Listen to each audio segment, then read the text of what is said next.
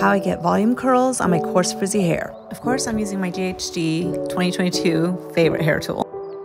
I always curl up and away from my scalp for added volume and to make sure that my roots don't get flat. I love to use my wand around my hairline to smooth that area. And one favorite tip is to always start curling about two inches away from the scalp. Again, maintaining volume. For these smoother curls, I've been wrapping the entire hair strand to create ribbons. And to frame my face, I curl everything from the crown and the bang area forward. Once my hair is cooled, I lift and separate my curls. That's it. These curls will last me all week long. Hope you love.